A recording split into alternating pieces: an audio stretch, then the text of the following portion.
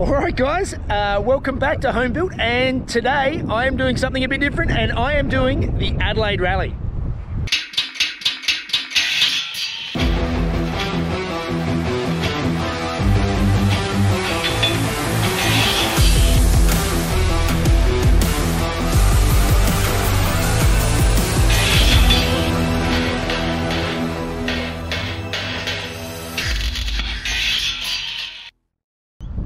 Here today in Adelaide and uh, I've driven over, you may have seen the last video of me driving through the floods. I've got over here and uh, we are driving in uh, the rally. It's a three-day event where uh, it's closed roads, it's, uh, it's going to be a lot of fun. I'm not in a competition category, I'm in a tour category with the Porsche Club of South Australia and I think it should be a heap of fun. Just it's not not uh, it's nothing too crazy. Just there's a heap of cool cars here. I've got uh, Harry here all sticking up, and uh, um, Stu's here, and a bunch of other guys are still on their way. Uh, we'll walk around and have a look at some cars. I'm going to be uh, driving with my brother Keith. He's my co-driver, so uh, yeah, hopefully it should be some fun, and you guys can come along for the ride.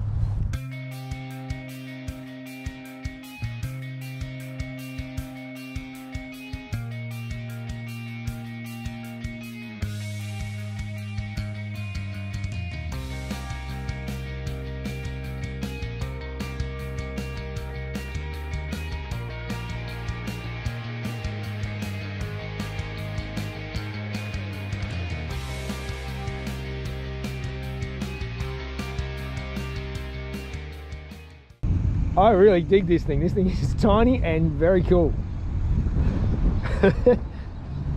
that is awesome. That looks so good. Look at the exhaust just sticking out the back.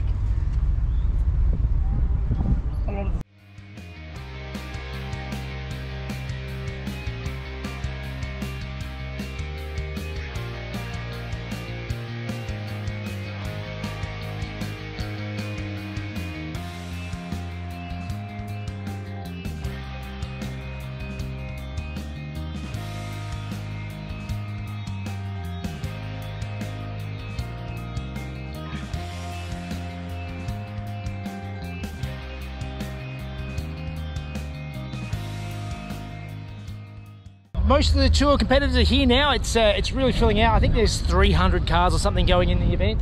We've had our tour briefing, so we're just uh, about to get in the cars now and uh, have some fun. I'm looking forward to it. It's going to be great.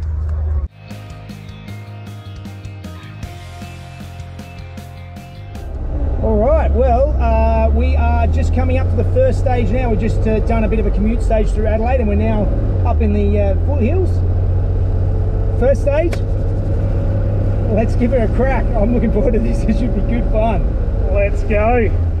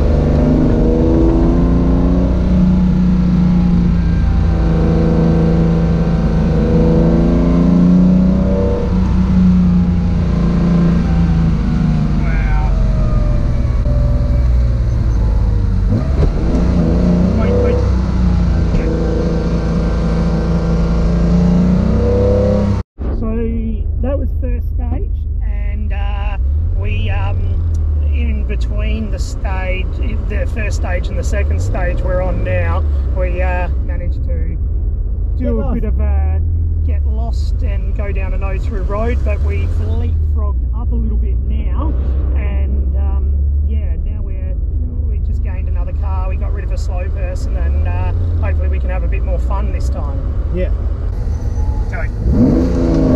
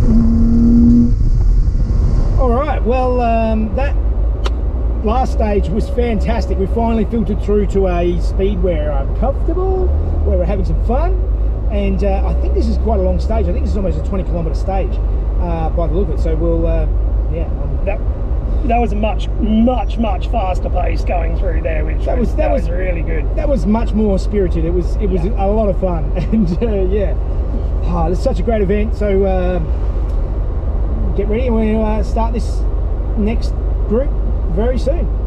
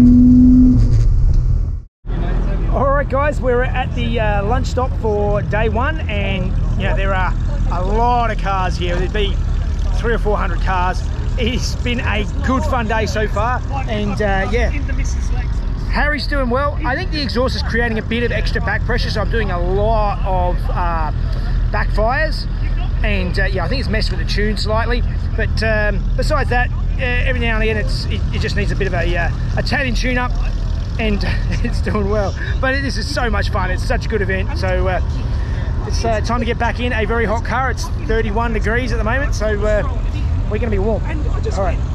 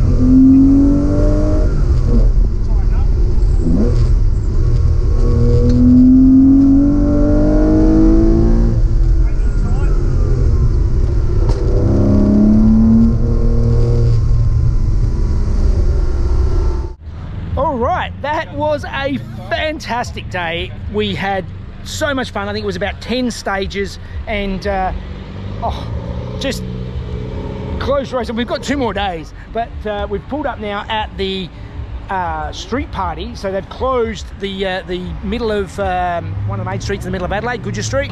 And uh, all the cars are coming in and lining up. Uh, we've got the other sides of the lights down here and uh, yep, Harry's here. Worked well. Um, had lots of backfiring so I'm going to see if I can do a log this evening on the uh, on the PC and see if I can actually retune it and get rid of some of that uh, that fuel get it to basically running a little bit leaner.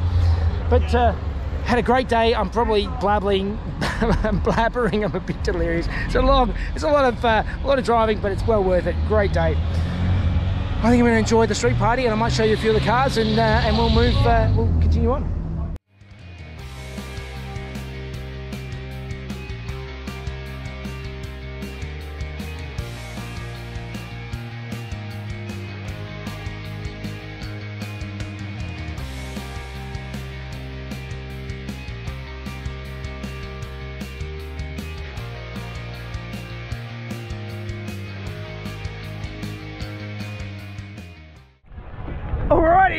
morning of day two at the Adelaide Rally, and uh, We had a fantastic time yesterday. It was so much fun. I can't recommend it highly enough. Uh, there is uh, a few less cars here today. There seems to be, uh, there was a little bit of attrition. We saw a few that got taken out yesterday that didn't uh, quite survive the um, the day, but uh, I don't think anybody got hurt or anything. Just just breakdowns and a couple of minor little bingles. So we are sort of regrouping at the moment and uh, and heading off for another fun day. I'm looking forward to it. Yeah. Okay, we were devastated when we saw this yesterday. Uh, damaged on the side of the road, and uh, I thought he'd uh, he'd snapped and lost it, and we were. it ends up it was uh, a little bit less dramatic than that. Is the old car handbrake on on the side of the road, went and put his warning triangles out to let people know. And uh, as the brakes cooled down, the handbrake came off and it rolled back and hit the guardrail. Um, yeah, quite disappointing, but a cool little car, and glad to see it's uh, it's it's okay and back in the rally. Here's the other side, yep. This is all on me, this one. And then, uh, yeah, put your clutch in last one. All right, day two, uh, first stage. We're going to get on it and have, uh, see if we have some fun. I am looking forward to uh, another day. I can't believe it's only the start of day two. Yesterday was epic, and uh, we're hoping for more good stuff today. Fingers crossed, everything goes well. A little bit wet. Um, looks like we might get a little bit of rain, but um, we'll hopefully keep it uh, on the road and hopefully everything goes smoothly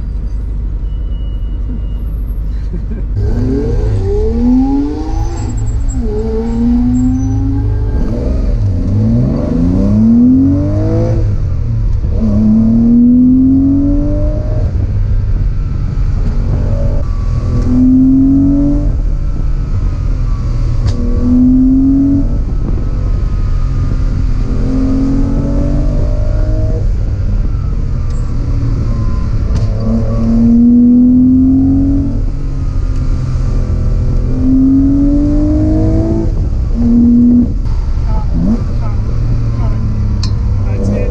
That's it. A bit more.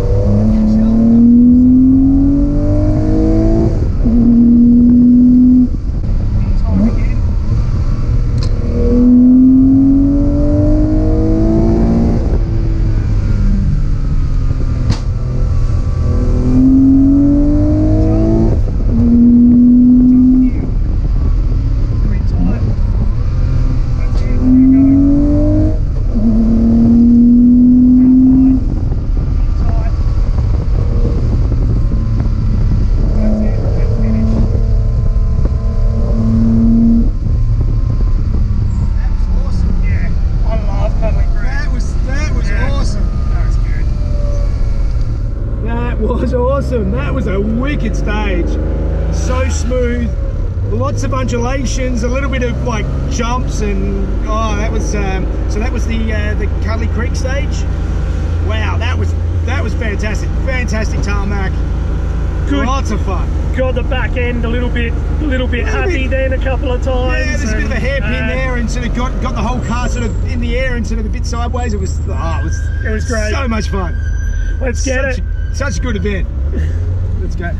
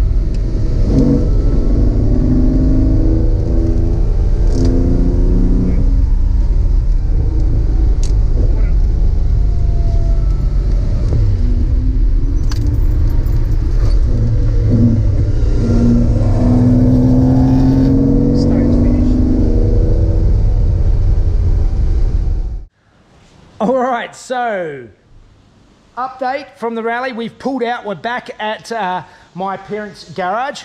Um, yes, that's the MG I painted a couple of years ago, but they still haven't put back together again yet. But uh, we'll move on from that. Basically, what was happening is the throttle pedal was completely dropping out, uh, like mid-stage, which was dangerous. Uh, so I had no throttle pedal, and then um, I had to cycle the key off and on, and uh, and and to you know roll start it, and it would uh, and it would take off again, and then it kept dropping out. So we had to call it quits there. It's uh, yeah, it's been playing up.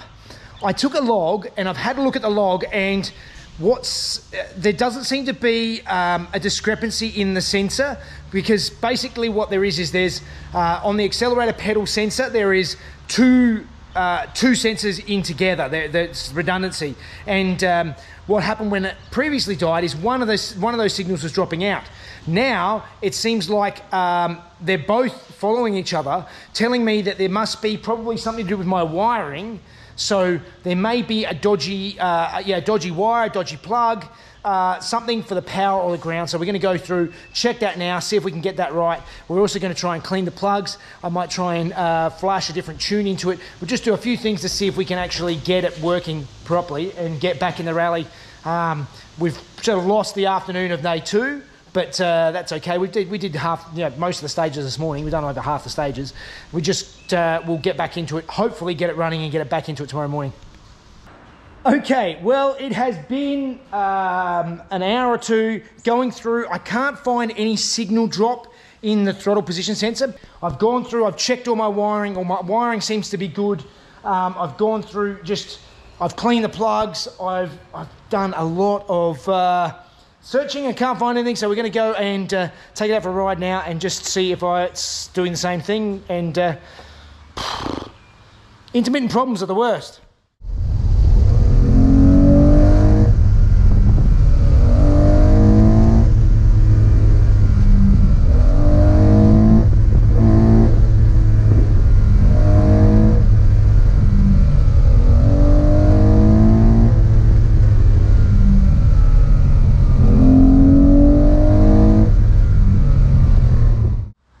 So I just took Harry for a drive. I did recalibrate the pedal in that um, last couple of hours of working on it, but it is working flawlessly. Nothing is happening. I tried to get as hot as I could, um, really just getting on it, revving it, and trying to emulate the what I would be in a stage, just keeping in second gear and just revving it up and down and up and down, and nothing happens. So at the moment, perfect. I, I hope it's just magically fixed these things are never fixed like that. So we'll, we'll just see how it goes. We'll go tomorrow and uh, play by ear. See how it see how it uh, runs. But at the moment, it works. All right, it is the morning of day three of the rally, and um, after all of the work on Harry yesterday afternoon, it seemed to be working. I've got down here, everything's running the way it's supposed to, no issues at all. Touch wood.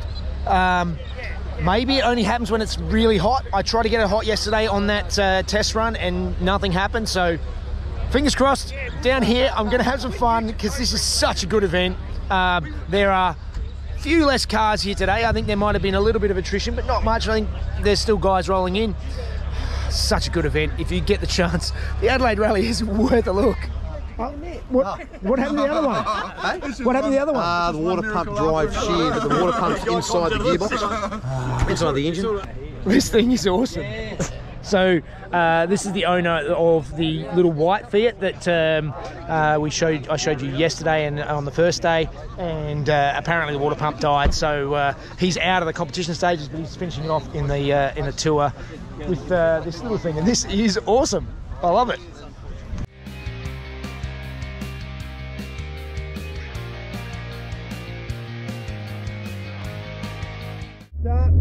Stage of the second day and um, Harry's running okay so far. There was a little hesitation on the throttle before, but um, we'll just see how we go and uh, yeah, let's have some fun. Fingers crossed. Last day, no problems. Computer, we logged it onto the computer. Computer Not, said it was okay, so there's, um, there's, no errors so far. So hopefully, and this is uh, we're doing Green Hill Road Run, which uh, is uh, nice, fairly high speed and uh, a big um, climb. So yeah, it should be good. All right, we were just about to start the stage, and uh, there is somebody stopped on stage. I believe it might be a car fire. Um, oh, we'll just see what happens. All right, it looks like the stage is clear. We're back in, so um, we're off.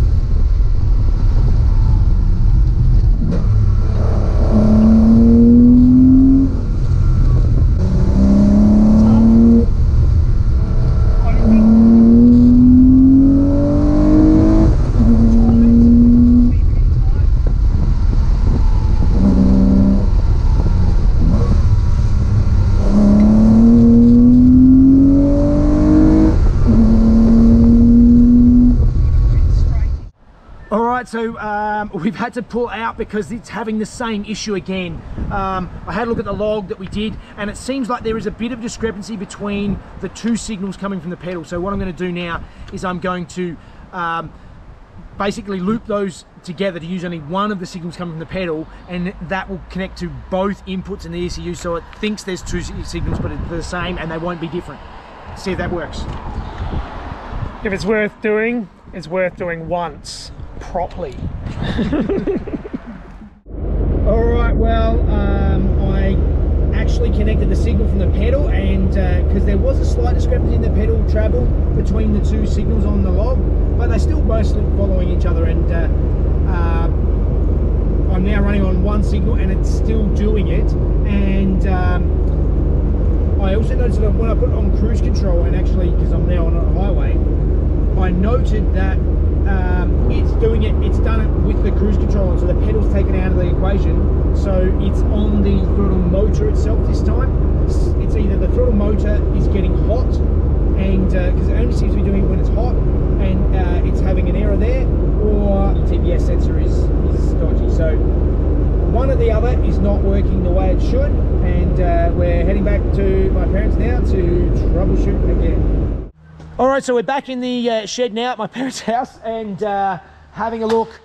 I'm pretty sure what's happening is something, it's only happening when it gets hot. I don't know whether it's the uh, actual throttle motor itself or the wiring.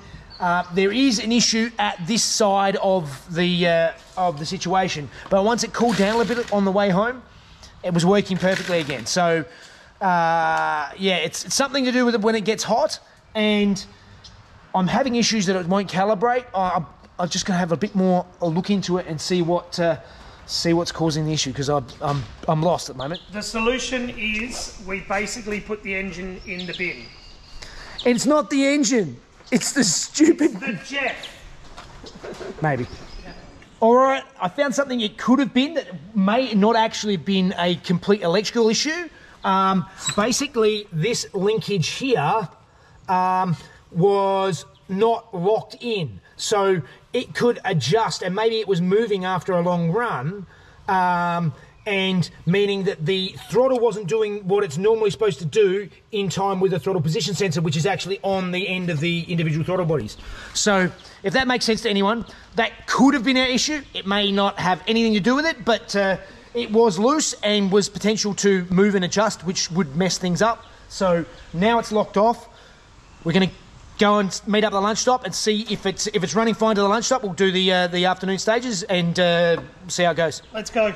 All right, we're moving.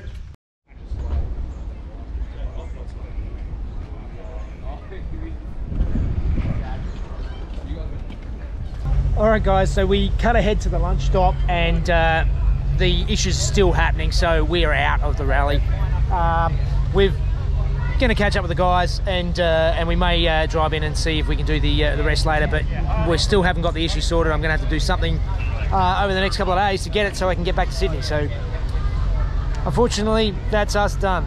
Put it in the bin. All right, we did the lunch stop and uh, and came back. The car is still having issues. Um, it seems to be fine. It, actually drove back from the lunch stop without without one splutter or anything. Uh, I, I think it seems to be fine when it's cooler.